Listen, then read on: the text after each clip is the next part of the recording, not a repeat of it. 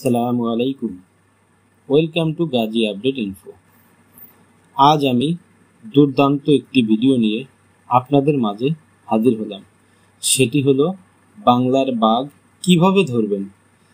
এই বাংলার বাঘ বলতে বোঝানো হয়েছে, দুই হাজার একুশ সালের জুন মাসের পূর্বে যারা ড্রাইভিং লাইসেন্সের জন্য ফিঙ্গারপ্রিন্ট এবং ছবি তুলেছেন, তাদের ড্রাইভিং লাইসেন্সটাকে বাংলার বাঘ হিসাবে বোঝানো হয়েছে। কারণ, বাঘ ধরতে বা শিকার করতে একটা মানুষের চার বছর সময় লাগে না বা লাগার কথা না। কিন্তু বাংলাদেশে গত চার থেকে পাঁচ বছরে সাধনার ফল হিসাবে একটা ড্রাইভিং লাইসেন্স এখন হাতে পাওয়া যায়।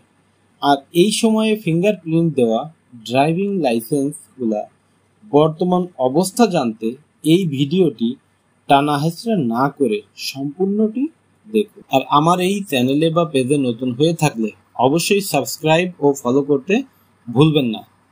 তো চলুন আমরা মূল কথায় ফিরে আসি। আমাদের হাতে থাকা অস্থায়ী ড্রাইভিং লাইসেন্স দিয়ে কীভাবে আমরা স্মার্ট কার্ডের বর্তমান অবস্থা জানতে পারব?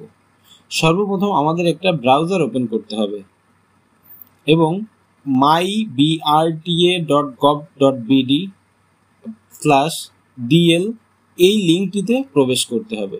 অথবা এই ভিডিও ডিসক্রিপশন বক্সে দেওয়া লিঙ্ক বা গুগল প্লে স্টোর থেকে অ্যাপস ডাউনলোড করার লিঙ্ক দেওয়া আছে।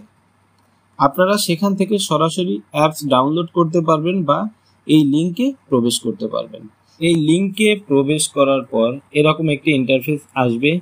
সেখানে ডিএল রেফারেন্স যে ঘরটি থাকবে, ওইখানে আপনার অস্থায়ী ড্রাইভিং লাইসেন্সের উপর একটা রেফারেন্স নাম্বার দেওয়া থাকবে।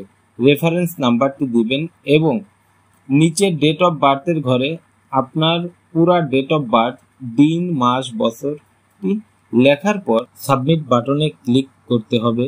ক্লিক করার পর দেখবেন আপনার নাম, বাবার নাম date of birth DL reference number DL reference date driving লাইসেন্সের নাম্বার ইস্যুর তারিখ, মেয়াদ, উত্তীর্ণের তারিখ, লাইসেন্সের ধরন বা অবস্থা।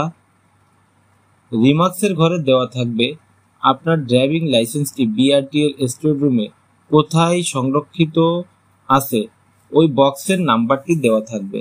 আপনারা অবশ্যই এই নাম্বারটি কপি করে বা আপনার ড্রাইভিং লাইসেন্সের অস্থায়ী কাগজের উপর লিখে রাখবেন এবং আপনার অস্থায়ী ড্রাইভিং লাইসেন্সের কাগজটা নিয়ে বিআরটি এ যোগাযোগ করবেন। তবে আপনার স্মার্ট কার্ডটি হাতে পাবেন। এরকম নতুন নতুন ভিডিও পেতে গাজী আপডেট ইনফোর সঙ্গে থাকুন। আল্লাহ হাফেজ।